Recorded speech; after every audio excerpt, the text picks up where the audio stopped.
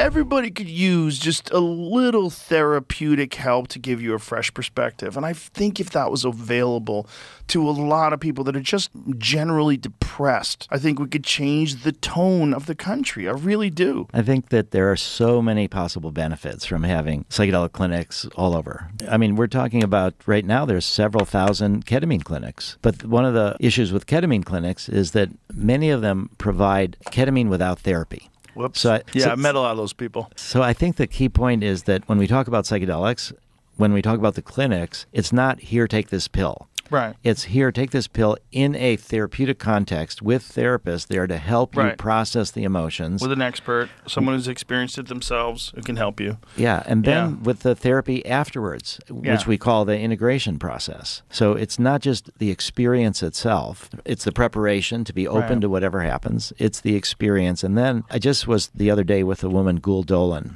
who is a neuroscientist.